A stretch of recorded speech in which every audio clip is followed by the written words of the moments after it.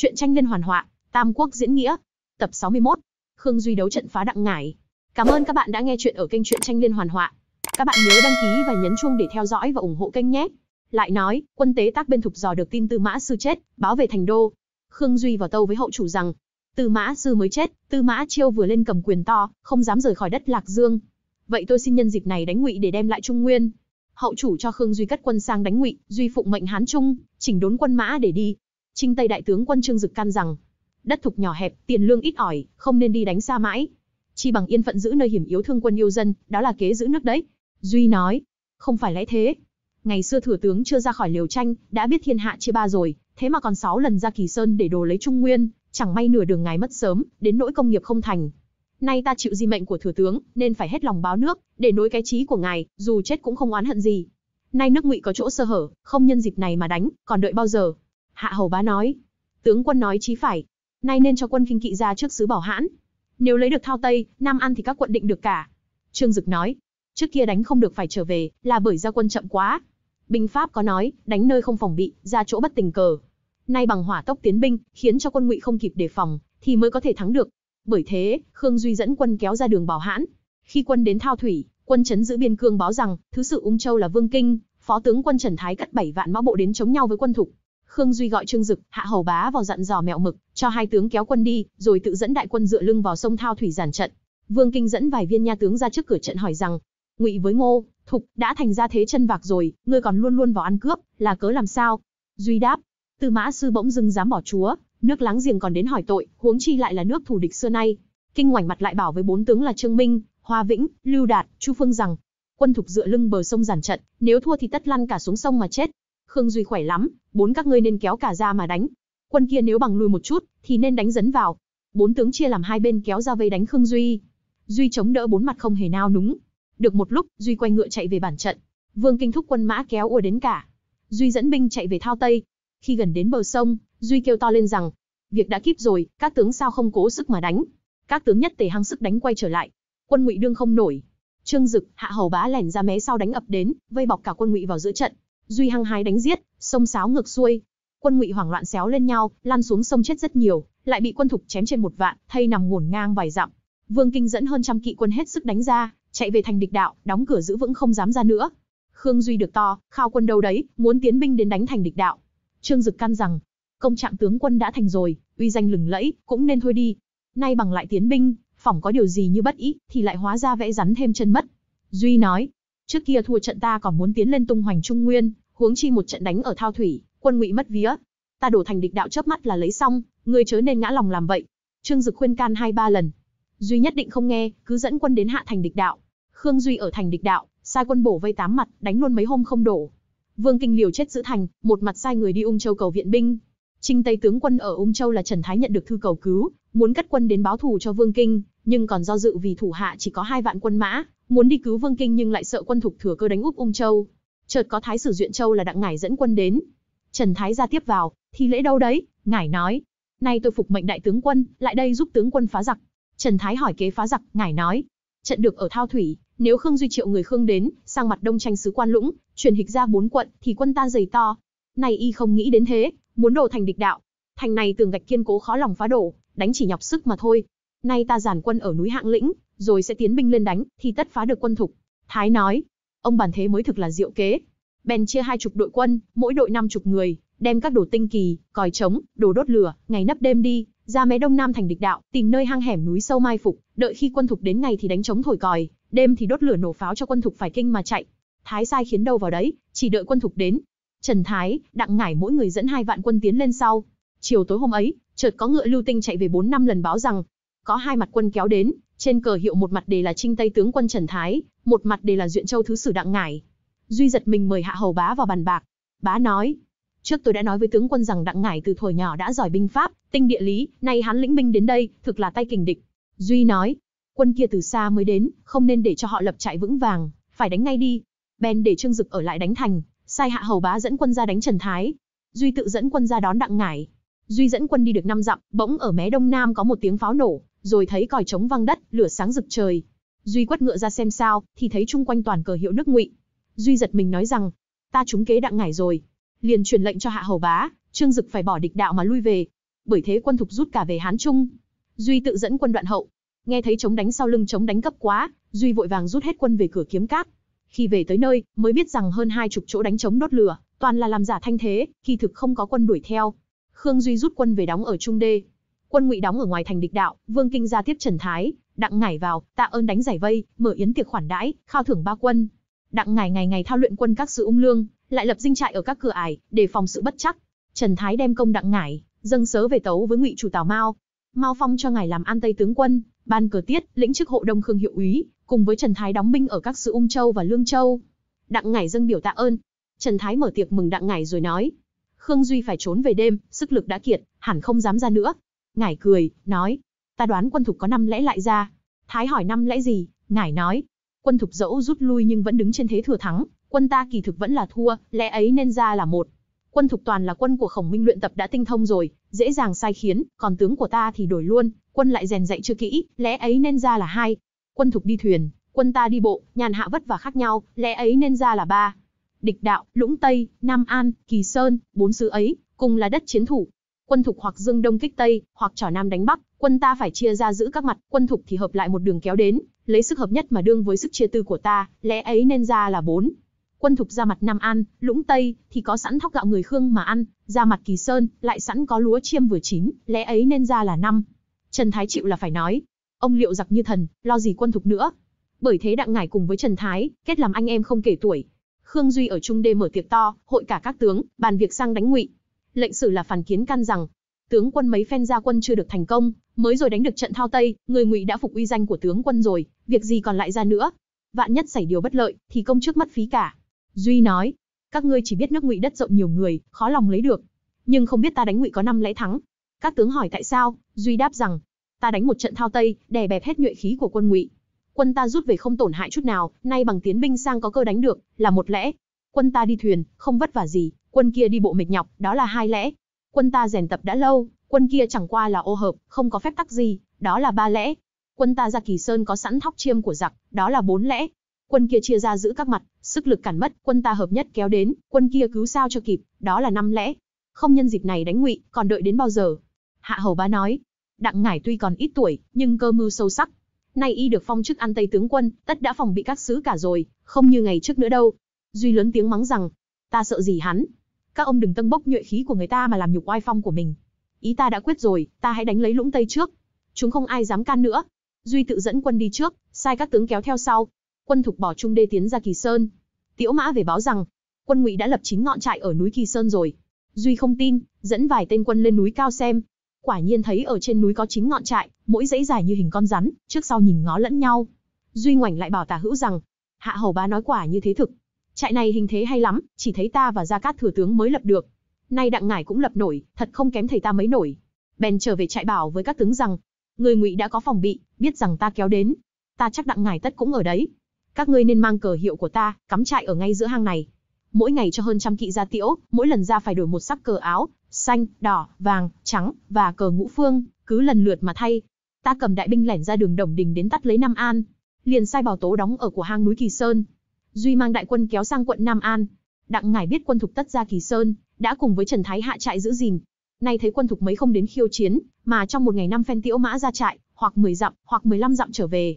Ngài đứng trên cao ngắm nghía một hồi, rồi về trước nói với Trần Thái rằng, Khương Duy chắc không ở trong đám này, tất lẻn ra đồng đỉnh chụp lấy Nam An. Quân Tiễu Mã ra trại, chỉ có mấy đứa thay đổi cờ áo ra vào đấy thôi, ngựa đi ra dáng mỏi mệt cả, chủ tướng tất không phải là tay giỏi. Trần tướng quân nên dẫn quân đến mà đánh, tất phá được trại ấy. Phá xong trại, tướng quân dẫn quân ra đường Đồng Đình, để chặn đường về của Khương Duy. Tôi dẫn quân đi trước đến cứu Nam An, chiếm lấy núi Võ Thành. Nếu được ngọn núi ấy, Khương Duy tất lại xoay ra lấy thành Thượng Nhai. Ở Thượng Nhai có một cái hang gọi là Đoạn Cốc, đất hẹp núi hiểm, vừa hay được chỗ mai phục rất tốt. Tôi phục sẵn hai toán quân ở đấy, đợi Khương Duy đến núi Võ Thành, đổ ra đánh chắc phá được. Thái nói, tôi giữ lũng Tây hai ba mươi năm nay, cũng không biết tưởng địa lý như thế. Ông thật là người tính kế như thần. Ông nên đi ngay cho, để tôi đánh trại này. Đặng Ngải dẫn quân sớm khuya gấp đường kéo đi, đến tắt núi Võ Thành hạ trại. Bấy giờ quân thục vẫn chưa đến nơi. Ngài sai con là Đặng Trung và tướng tiền hiệu úy là Sư Toản, mỗi người dẫn năm ngàn quân phục sẵn trong hang đoạn cốc, dặn dò mẹo rồi cho đi. Hai người lĩnh kế đi luôn. Ngài sai ngả cờ im trống để đợi quân thục đến. Khương Duy noi theo con đường Đồng Đình, kéo đến Nam An. Đến trước núi Võ Thành, Duy bảo với Hạ Hầu Bá rằng, gần quân Nam An có núi Võ Thành, Nếu chiếm trước được núi ấy, thì có thể đoạn được Nam An. Nhưng chỉ ngại đặng ngải đa mưu, tất có phòng bị trước. Còn đang ngần ngại, bỗng nhiên trên núi nổ pháo hiệu, rồi tiếng hò reo ầm ầm, còi trống vang động, tinh kỳ bay ra phấp phới, ngụy quân đứng đặc như kiến. Giữa đám đông có một lá cờ vàng to, để tên đặng ngải. Quân thục thấy vậy kinh hãi quá chừng. Quân ngụy ở trên núi chia làm mấy ngả đổ xuống, thế mạnh không sao đương nổi. Cánh tiên quân của thục thua to. Khương Duy thúc trung quân đến cứu, quân ngụy lại rút lên cả trên núi. Duy đến thẳng dưới chân núi, thách đặng ngải xuống đánh, quân ngụy nhất định không ai xuống. Duy sai quân sĩ chửi mắng sỉ nhục, mãi đến chiều tối. Duy vừa sắp thu quân về, thì trên núi lại đánh trống thổi còi, mà vẫn không thấy quân ngụy xuống. Duy muốn đánh thốc lên, nhưng đá đạn từ trên ném xuống, không sao lên được. Duy chầu trực mãi đến canh ba, toan trở về thì trên núi còi trống lại vang động. Duy rút quân xuống mé dưới, sai quân khiêng vận đá gỗ, muốn cắm trại giữ nhau. Bấy giờ quân ngụy mới ầm ầm kéo đến. Quân thục xôn xao, giày xéo lẫn nhau chạy về cho đến trại cũ. Hôm sau Khương Duy lại sai quân sĩ đem những xe lương dàn bày dưới núi Võ Thành, muốn lập trại đóng quân. Canh hai đêm hôm ấy, Đặng Ngải dẫn 500 quân, mỗi người cầm một bó đuốc, chia làm hai đường xuống núi, phóng hỏa đốt xe. Quân hai bên đánh nhau xô sát một đêm, Duy không sao lập được doanh trại. Duy dẫn quân lui về, bàn với Hạ Hầu Bá rằng, Nam An chưa sao lấy được, không bằng hãy lấy Thượng Nhai trước. Thượng Nhai là chỗ chứa lương của quân Nam An, lấy được chỗ ấy, thì Nam An tự nhiên phải nguy. Ben để Hạ Hầu Bá đóng ở dưới núi Võ Thành. Duy dẫn tinh binh mãnh tướng đến tắt lấy Thượng Nhai. Đi suốt đêm gần đến sáng, toàn thị núi non hẹp hòi, đường xá gập ghềnh lắm. Duy hỏi quan hướng đạo rằng, đây là xứ gì? Hướng đạo nói, đây gọi là hang đoạn cốc. Duy thất kinh, nói, tên ấy gở lắm. Đoạn cốc nghĩa là chặn hang. Nếu có người chặn mất cửa hang này thì làm thế nào? Đương khi Duy do dự chưa biết nghĩ sao, chợt có tiếng quân chạy về báo rằng, mé sau núi, bụi bay mù mịt, tất có quân mai phục. Duy vội vàng sai thu quân về, thì đã thấy hai toán quân của sư toàn, đặng trung đổ ra. Duy vừa đánh vừa chạy, bỗng tiếng reo hò lại nỗi, té ra đặng ngải kéo quân đến. Ba mặt đánh dồn vào, quân thục thua to. May có hạ hầu bá dẫn quân đến cứu, ngụy mới lui. Khương Duy được thoát, muốn lại ra Kỳ Sơn. Hạ hầu bá căn rằng, trại Kỳ Sơn đã bị Trần Thái đánh vỡ. Bào tố chết trận quân mã rút hết về Hán Trung cả rồi. Duy thấy vậy, không dám đi theo đường Đồng Đình phải lẻn về qua đường tắt. Ngải dẫn quân đuổi theo. Duy cho quân đi trước, mình đón chặn mặt sau. Đang đi, bỗng có một toán quân ở trong núi đổ ra, là tướng Ngụy Trần Thái. Quân Ngụy reo ầm một tiếng, vây bọc ngay Khương Duy vào ngay giữa trận. Duy bấy giờ người ngựa mệt mỏi cả, sông sáo mãi cũng không ra được. Trương Ngực nghe tin Khương Duy bị vây, dẫn vài trăm kỵ đánh thốc vào cứu. Duy thừa thế phá được trùng vây. Trương Ngực bị quân Ngụy loạn xạ bắn chết. Duy thoát nạn về đến Hán Trung, cảm lòng trung dũng của Trương Ngực bỏ mình vì việc nước, mới dâng biểu xin phong tặng cho con cháu ông ta.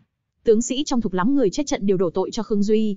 Duy chiếu lệ cũ ở nhai đình của võ hầu, xin tự giáng chức làm hậu tướng quân nhưng tạm trông coi việc đại tướng. Khương Duy kiểm điểm binh mã, thấy hao tổn nhiều mới than rằng, mấy năm qua, mãnh tướng, tinh binh thương vong, mất mát không ít mà vẫn chưa giành được một tấc đất trung nguyên nào. Tài sức của ta còn kém cỏi, phụ lòng của thừa tướng. Bấy giờ là năm hiên di thứ 20 nhà thục Hán, đổi là năm cảnh diệu thứ nhất. Khương Duy ở Hán Trung kén được hai tướng trong xuyên, một người là Tưởng Thư, một người là Phó Thiêm, hai người sức lực khỏe mạnh mà có can đảm. Duy yêu lắm, dùng làm tướng, ngày ngày rèn tập quân mã, chờ dịp sang đánh ngụy. Chợt có tin báo về rằng, Gia Cát Đản cất binh đánh Tư Mã Chiêu. Tôn Lâm ở Đông Ngô mang quân sang giúp. Chiêu cất hết quân ở hai miền Hoài, đem cả Ngụy chủ và Ngụy Thái hậu đi đánh giặc. Duy mừng rỡ, nói: "Phen này việc ta chắc xong." Liền dâng biểu tâu với hậu chủ, xin cất quân sang đánh Ngụy. Đại phu và Tiêu Chu nghe chuyện làm vậy, than rằng: Lâu nay chúa thượng ham mê tử sắc, tin dùng hoạn quan là hoàng hạo, không nhìn gì đến việc nước, chỉ chuộng lấy sự vui chơi. Bá ước thì mai đánh nay dẹp, không thương gì đến quân sĩ, thế là cái cơ nước sắp đổ mất rồi. Bèn làm ra một bài luận gọi là thủ quốc luận, kể những sự không nên đánh nữa, đưa cho Khương Duy để can ngăn việc cất quân. Duy xem bài luận nổi giận mà rằng, lời lẽ này rõ ra giọng hủ nho. Nói đoạn quẳng tờ giấy xuống đất rồi cất quân sang lấy Trung Nguyên. Khương Duy hỏi Phó Thiêm rằng, ý ngươi nghĩ nên ra xứ nào phải hơn? Thiêm thưa rằng, lương thảo của quân ngụy chứa cả trong thành, nay nên đi tắt tới Lạc Cốc, vượt qua núi Trầm Lĩnh đến thẳng Trường Thành, trước hết đốt sạch lương thảo, rồi kéo thẳng đến lấy Tần Xuyên, thì Trung Nguyên có thể hẹn ngày lấy được. Duy nói, ngươi nói hợp ý ta lắm. Tức thì để binh đi tắt hang Lạc Cốc, qua núi Trầm Lĩnh kéo đến Trường Thành. Tướng giữ Trường Thành là Tư Mã Vọng, anh họ Tư Mã Chiêu. Trong thành lương thảo rất nhiều mà quân mã thì ít. Bây giờ, Tư Mã Vọng nghe tin quân thục đến, liền cùng với hai tướng là Vương Chân, Lý Bằng dẫn quân ra khỏi thành 20 dặm hạ trại. Hôm sau, quân thục đến, Vọng dẫn hai tướng ra trận, Khương Duy trỏ tay sang, nói. Tư mã chiêu đem chúa đi đánh giặc, tất có ý như lý thôi, quách dĩ. Ta nay phụng chiếu triều đình, đến đây hỏi tội. Mày nên hàng ngay đi, nếu còn u mê, tao sẽ giết chết cả ổ nhà mày. Vọng quát mắng lại rằng, chúng mày vô lễ, dám đến xâm phạm thượng quốc. Nếu không về ngay đi, tao sẽ đánh cho mảnh giáp cũng không còn. Nói vừa dứt lời, Vương Trần vác giáo quất ngựa ra. Bên trận thục thì Phó Thiêm đón đánh. Được 10 hiệp, Thiêm đánh miếng lửa cho Vương Trần đâm sang, liền quay mình tránh khỏi ngọn giáo, rồi đưa tay lôi thúc Vương Chân sang ngựa mình, cắp đem về trận. Lý Bằng nổi giận, thúc ngựa múa đao lại cứu. Thiêm cứ đi thông thả, đợi cho Lý Bằng đến nơi, rút một cây quất sắt bốn ngạnh cầm sẵn trong tay. Lý Bằng sấn vào rơi đao trực chém, Thiêm quẳng Vương Chân xuống đất rồi quay phát lại phía sau, vút một quất vào giữa mặt Lý Bằng, bằng bật nổ con ngươi ra ngoài, ngã gục xuống đất. Vương Chân bị quân thục súng vào đâm chết, Khương Duy thúc quân đánh tràn sang, Tư Mã Vọng phải bỏ chạy vào trong thành đóng chặt cửa phòng giữ. Duy truyền lệnh rằng, quân sĩ hôm nay hãy cho nghỉ một đêm, để dưỡng sức khỏe, ngày mai phải cố gắng đánh thành. Sáng sớm hôm sau, quân thục kéo cả đến dưới thành, dùng tên thuốc dẫn lửa bắn vào. Những nhà lá trong thành cháy bùng cả lên. Quân Ngụy đã thấy xốn xáo, Duy lại sai chất dơm củi dưới thành mà đốt, lửa cháy đùng đùng, thành đã sắp đổ. Quân Ngụy gào khóc ầm ĩ, tiếng vang bốn phía. Khi đang đánh bỗng đầu mé sau tiếng reo nổi lên như sấm. Duy quay ngựa lại xem sao, thì thấy quân Ngụy đánh chống hò reo, cờ bay phấp phới kéo đến đông như kiến. Duy đổi hậu đội làm tiền đội, kìm ngựa đứng dưới cửa cờ, chờ quân Ngụy đến. Một lát, trong trận Ngụy có một tướng trẻ tuổi, nai nịt gọn ghẽ, cầm đao thúc ngựa xông đến. Tướng ấy ước chừng ngoài 20 tuổi, mặt trắng như phấn, môi đỏ như son, quát lên rằng: "Có biết đặng tướng quân là ai không?" Duy đoán chắc là đặng ngải, liền cũng thúc ngựa múa thương lại địch. Hai người tinh thần mạnh mẽ, đánh nhau ba bốn mươi hiệp chưa phân thắng phụ. Thương pháp của tướng trẻ tuổi ấy, không hở kẽ một chút nào. Duy nghĩ thầm muốn dùng mẹo lừa, mới quay ngựa chạy rẽ vào trong đường núi. Tướng ấy thúc ngựa đuổi sấn tới. Duy cắp chắc ngọn thương, rút bộ cung tên ra bắn. Tiểu tướng nhanh mắt, vừa nghe cung tách một tiếng, đã lộn mình bổ ra mé trước, tránh được mũi tên. Duy trông xuống thì tướng ấy cầm giáo đâm đến cạnh mình rồi. Duy vội vàng né mình sang một bên, ngọn giáo đâm sượt qua nách. Duy dùng hết sức kẹp chặt ngọn giáo, Tướng ấy thấy Khương Duy rút nhanh gươm sắp sửa chém, liền buông ngay ngọn giáo, chạy một mạch về bản trận. Duy tắc lưỡi phàn nàn rằng, tiếc quá, tiếc quá, liền lại quay ngựa đuổi theo, vừa ra đến cửa trận thì thấy một tướng cầm đao xông tới thét rằng, Khương Duy sất phu, chớ đuổi con ta nữa, đặng ngải ở đây. Duy giật mình, mới nghĩ ra tướng trước là đặng trung con đặng ngải. Duy trong bụng lấy làm kỳ, muốn đánh nhau với đặng ngải, nhưng sợ sức ngựa đã mỏi, mới trò sang mà rằng, hôm nay ta mới biết mặt bố con nhà mày. Giờ hãy thu quân, mai sẽ sống mái với mày một trận. Ngải thấy thế đánh chưa được lợi, cũng kìm ngựa lại mà rằng, có phải thế thì hãy thu quân về. Hễ ai lừa nhau thì không phải là kẻ trượng phu. Bởi vậy đôi bên cùng rút quân, đặng ngải hạ trại cạnh sông vị, duy thì cắm trại giữa hai mặt núi. Đặng ngải lên núi cao xem địa thế bên trại thục, thấy quân thục bố trí rất vững vàng, trong lòng thầm khen ngợi. Về đến trại, ngài sai người đưa thư cho Tư Mã Vọng, trong thư nói: chúng ta không nên đánh vội, hãy cứ giữ cho vững đợi khi nào quân ở quan trung đến, mà lương thảo của thục cạn rồi, bấy giờ sẽ họp ba mặt mà đánh, thì mới phá được. Nay tôi hãy cho con tôi là Đặng Trung giữ thành với ông, để cho người về cầu cứu Tư Mã đại tướng quân mới xong. Khương Duy sai người đưa chiến thư đến trại Đặng Ngải, hẹn ngày mai đánh nhau. Ngải giả vừa nhận lời. Canh năm đêm hôm ấy, Duy sai ba quân thổi cơm ăn cho sớm. Sáng rõ, dàn trận đợi quân Đặng Ngải đến. Trong trại Đặng Ngải ngả cờ im trống, làm như dáng không có người canh giữ mà cũng không thấy ai ra. Duy chờ mãi cho đến chiều mới về. Hôm sau, Duy đã sai người đưa chiến thư, trách rằng sai hẹn. Ngài sai dọn cơm rượu, thết đãi sứ giả, rồi bảo rằng Tôi hơi khó ở, lỡ sai mất hẹn, xin để ngày mai hội chiến. Hôm sau, thám mã báo rằng Duy dẫn binh đến thách đánh.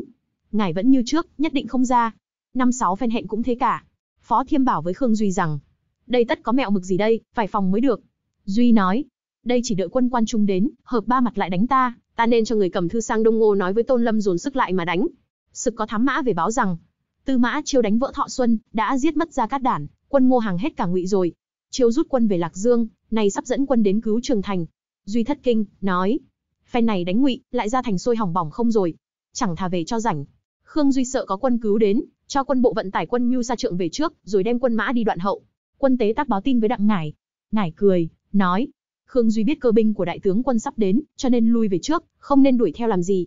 Nếu đuổi thì phải mắc phải mẹo của hắn ngay. Bèn cho người đi thám, quả nhiên trong đường hẻm hang lạc cốc, chứa chất củi cỏ, dự bị để đốt quân đuổi theo. Đặng ngải xem xét địa thế, để dành đất cho quân thục lập trại. Từ chỗ ấy đến trại Kỳ Sơn, đã đào sẵn một đường hầm, đợi quân thục đến sẽ khởi sự.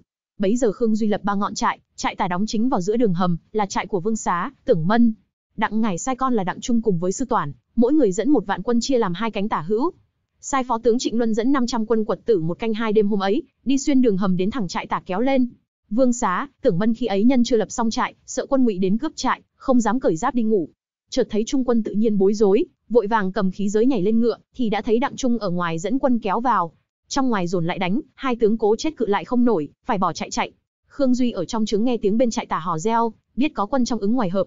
Duy kíp ngựa đứng trước trướng trung quân, truyền lệnh rằng, hễ ai nhộn nhạo thì chém. Nếu có quân giặc kéo đến cạnh trại, không phải hỏi lôi thôi gì, chỉ việc dùng cung nỏ bắn ra. Một mặt truyền cho trại hữu cũng thế, không được nhộn nhạo. Quân ngụy hơn 10 lần xông vào, quả nhiên điều bị tên bắn lui về, sáo sắc mãi đến sáng, rồi không dám vào. Đặng Ngải thu quân về trại, than rằng, Khương Duy thực là học được phép của Khổng Minh, ra quân ban đêm mà không sợ, tướng gặp biến mà không dối, thế mới thực là tướng tài. Hôm sau, Vương Xá, Tưởng Mân thu nhặt quân tàn, đến đại trại xin chịu tội. Duy nói, đó không phải là tội tại các ngươi, bởi vì ta không tưởng mạch đất, mới đến nỗi thế. Lại cấp thêm cho quân mã, sai hai tướng hạ trại, rồi đem những thây người chết, bỏ cả vào trong đường hầm, lấy đất lấp đi. Duy sai người đưa chiến thư, thách đặng ngài ngày mai ra giao phong. Ngài mừng rỡ ưng lời. Hôm sau, hai bên dàn trận ở trước núi Kỳ Sơn. Duy án phép bắt trận của võ hầu, chia dàn ra tám cửa, thiên, địa, phong, vân, điểu, xà, long, hổ. Đặng ngài thấy Khương Duy bàn trận bắt quái, cũng bày trận ấy, cửa ngõ tả hữu trước sau tả hữu giống y như hệt. Quân đôi bên cứ y đội ngũ tiến vào. Ngài vào trung quân đứng sai khiến, cho quân lượn vào vây trận, trận đôi bên vẫn đâu ra đấy, không xôn xao một tí nào. Khương Duy đứng trung quân, cầm lá cờ phất một cái, bỗng biến thành trận trường xà quyển địa, vây bọc ngay đặng ngải vào giữa. Bốn mặt tiếng reo nổi lên. Ngài không biết là trận gì, trong bụng đã sợ.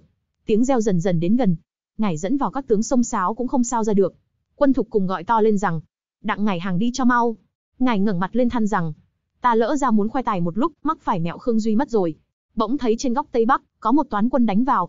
Ngài trông ra thì quân ngụy mới thừa thế đánh ra được ngoài. Nguyên tư mã vọng đánh cứu đặng ngài đem ra, khi trở về thì chín trại Kỳ Sơn đã bị quân thục cướp mất cả. Ngài dẫn bại dẫn bại quân lui về mé nam sông vị hạ trại. Ngài nói, sao ông biết được phép trận này, mà cứu được tôi ra? Vọng nói, tôi thuở nhỏ học ở Nam Kinh, có kết bạn với Thôi Châu Bình, Thạch Quảng Nguyên thường có giảng đến phép trận này. Khi nãy, Khương Duy biến trận ấy, gọi là trận trường xà quyển địa, nếu đánh chỗ khác, thì không sao phá được. Tôi thấy đầu trận ở góc Tây Bắc, cho nên từ mặt ấy đánh vào, liền phá được ngay. Ngài tạ ơn nói, tôi tuy học được phép trận, nhưng chưa từng phép biến hóa, Ông đã biết phép ấy, ngày mai nên đấu trận với Khương Duy, để tôi dẫn quân đến đánh úp sau trại Kỳ Sơn, hai mặt dồn lại đánh, thì có thể cướp lại trại cũ. Bèn sai Trịnh Luân làm tiên phong. Ngài tự dẫn quân đến úp trại Kỳ Sơn, một mặt cho người đưa chiến thư thách Khương Duy ngày mai đấu trận. Duy phê vào chiến thư và cho sứ giả mang về, rồi bảo với các tướng rằng, ta được mật thư của võ hầu truyền cho trận này, cả thảy 365 phép biến, theo độ số chung quanh trời. Nay quân giặc thách ta đấu trận pháp, thì chẳng khác nào múa rìu qua mắt thợ, đây tất có mưu mẹo, các ông có biết không?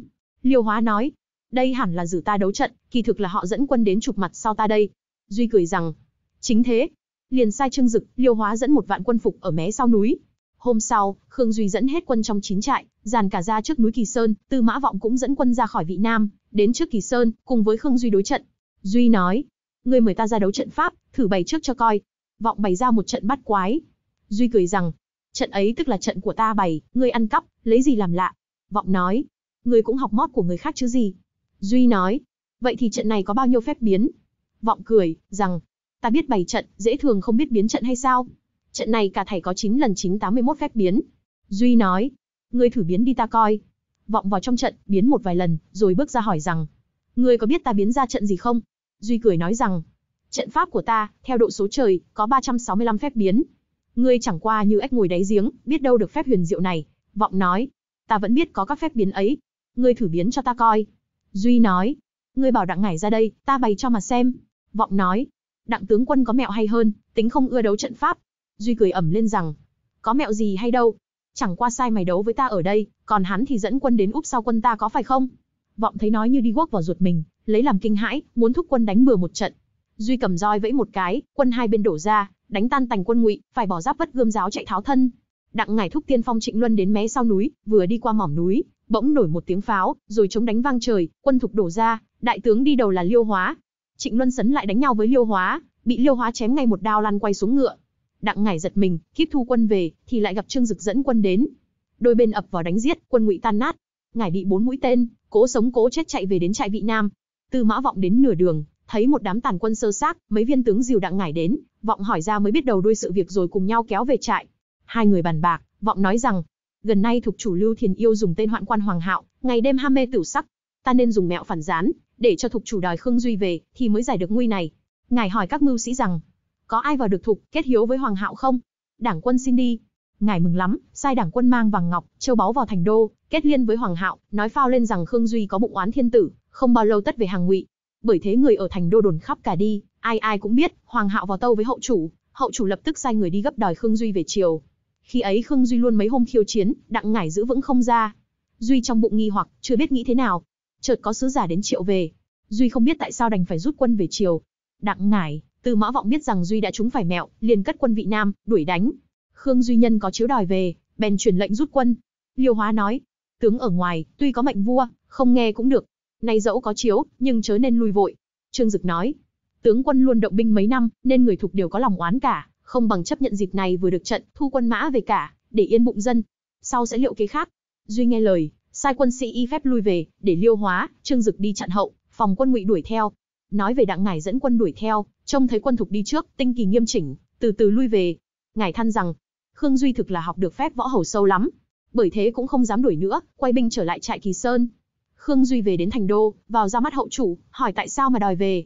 Hậu chủ nói, ngươi ở mãi ngoài biên đình, chấm sợ quân sĩ vất vả, cho nên đòi ngươi về chiều, chớ không có việc gì cả. Duy tâu rằng, tôi đã lấy được trại Kỳ Sơn, sắp sửa thành công, không ngờ nửa đường lại bỏ dở, biết là chúng phải mẹo phản gián của đặng ngải. Hậu chủ nín lặng, Khương Duy lại tâu rằng, tôi thể hết sức đánh giặc để báo ơn nước. Bệ hạ chớ nghe lời tiểu nhân mà sinh bụng ngờ vực. Hậu chủ ngồi lâu lâu, mới nói rằng, trẫm không nghi ngờ gì ngươi, ngươi hãy về Hán Trung, đợi khi nào nước Ngụy có biến sẽ sang đánh. Khương Duy thở dài, ra về Hán Trung.